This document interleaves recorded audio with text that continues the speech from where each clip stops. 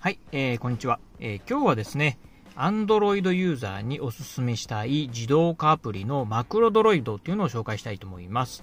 えー、今ですね、こちら画面に映してますのは、これ IFTTT。えー、普段、えっ、ー、と、IFT って皆さん読むのかな？っ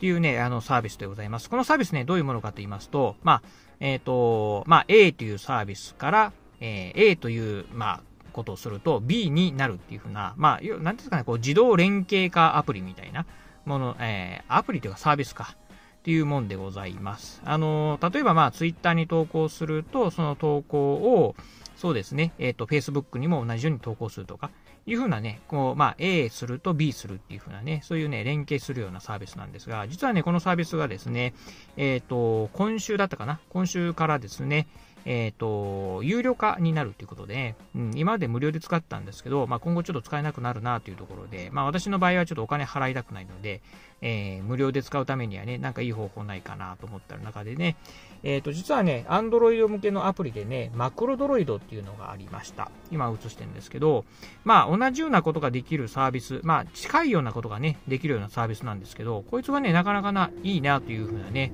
ところがあったんでね、ちょっと紹介してみたいと思います。これ実際にね、このスマートフォンの中にアプリを入れてるんですけど、まあ実際にちょっと私もね、今ね、すでに、えっ、と、利用してるんですけど、こんなことができたりします。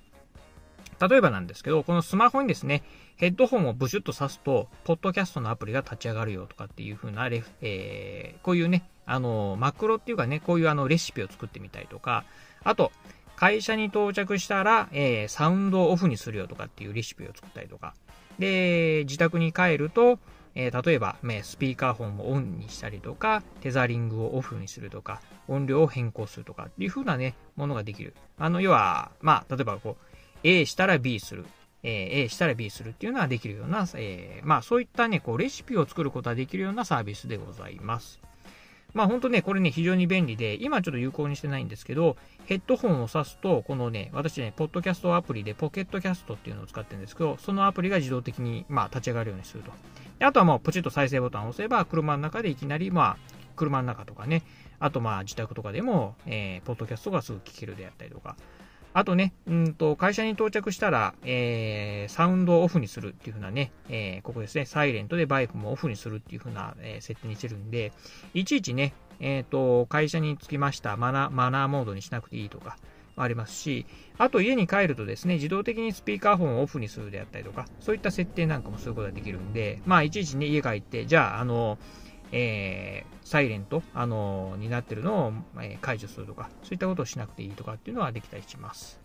まあ、こういったね、あの、どちらかというと、こう、何かのアプリを何かのアプリで連携するんではなくて、まあ、えっ、ー、と、トリガーとなるのはこのスマートフォンですね。このスマートフォンが何かをすれば何かをするっていう風な感じのね、えー、設定ができるようなもんなんで、まあ、あのー、IFTTT と全くね、えっ、と、似たようなサービスができるというわけではないんですけど、まあ、それに近いようなことがね、できるんでね、え私はね、これ利用しております。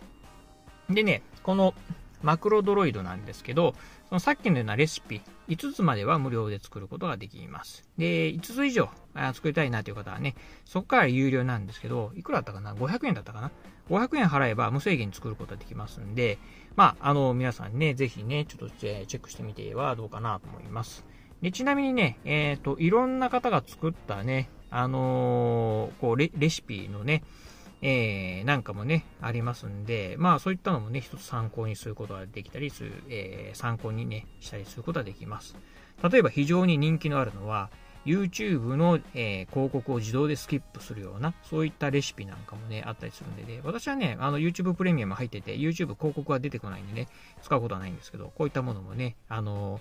えー、ね、ありますんで、これね、押したらね、確かね、これコピーしてね、自分でもね、使うことができたりするんですよ。なのでね、あの、このレシピをね、参考にね、えー、コピーして使ってみる、作ってみるとか、いったこともできたりするんでね、非常にね、楽しいアプリでございます。まあ、ぜひね、Android のユーザーの方やね、そういったね、こう、自動化アプリとかにね、興味ある方はね、ぜひね、一度ね、えー、インストールしてみてはいかがかなと思います。はい。じゃあ今日はですね、えっ、ー、と、自動化のアプリのマクロドロイド、Android 向けのアプリですね。こちらの方を紹介してみました。えー、この、えー、動画はですね、面白いなと思いましたら、ぜひ高評価、またチャンネル登録まだの方ですね、ぜひチャンネル登録の方よろしくお願いいたします。はい。じゃあ今日はこの辺で動画を終了いたします。ご視聴いただきまして、ありがとうございました。